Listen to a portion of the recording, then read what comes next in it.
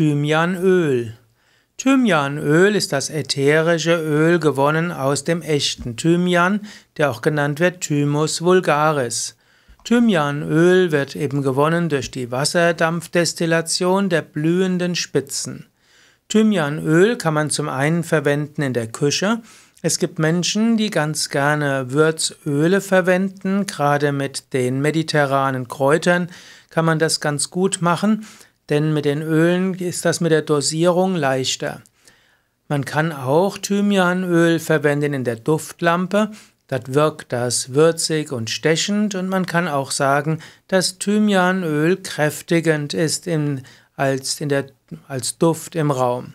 Thymianöl kannst du auch in der Duftlampe verwenden zur Vorbeugung und auch zur Heilung bei einfachen Erkältungen.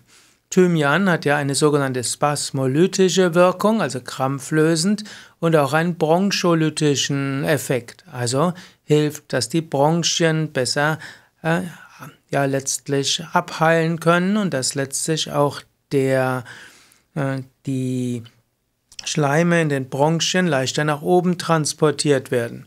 Thymian hat auch leicht antibakterielle Wirkung und auch das kann man im Thymianöl verwenden. Thymianöl kann man auch nutzen, zum Beispiel für die Inhalation.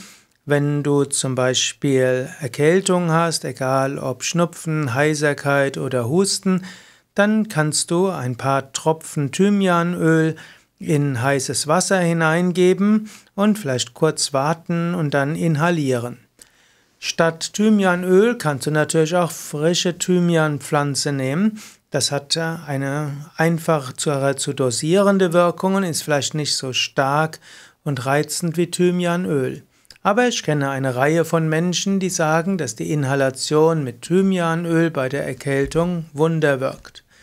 Natürlich, das sollten alles nur Anregungen sein. Wenn du krank bist, dann solltest du Arzt oder Heilpraktiker konsultieren und alle Aussagen, die du hier in diesen Videos und Audios bekommst, sollen dir nur Anregungen geben, was du mit Arzt oder Heilpraktiker besprechen sollst.